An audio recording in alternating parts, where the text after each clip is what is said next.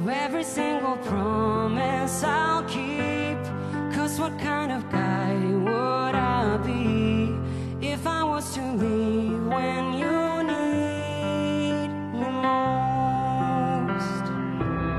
What are words if you really don't mean them when you say them? What are words if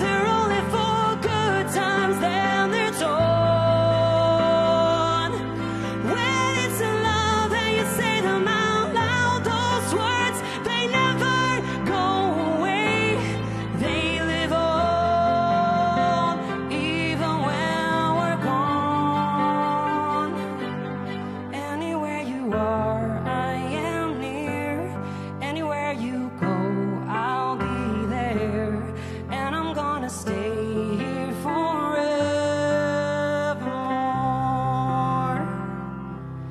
I'm forever keeping my angels close.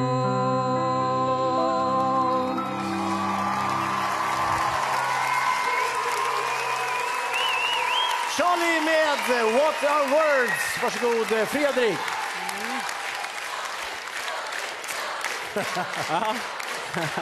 Härligt. Jag hör ju att du kämpar med en förkylning. Och eh, I ditt fall så är det framförallt de låga tonerna som hoppar lite åt höger och vänster, inte riktigt i pitch. Men det fantastiska med dig, ja, ja. det fantastiska med dig är ju att de höga tonerna, de som egentligen är svårast, de sätter du precis där de ska vara. Ja, som eh, Fredrik sa, det var lite surt här och där, men, men jag älskar när du, när du sjunger så här stora melodier. Det är det här jag har väntat på.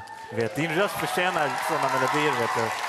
Och jag, jag visste inte att du hade barn hemma och jag tyckte det var jättefint att lära känna den sidan av dig och höra lite mer om det. Och det var oväntat faktiskt. Och eh, sen körde du piano också. Och det, det var mycket surprises från dig ikväll, så det, det gillar vi som fan. Mm.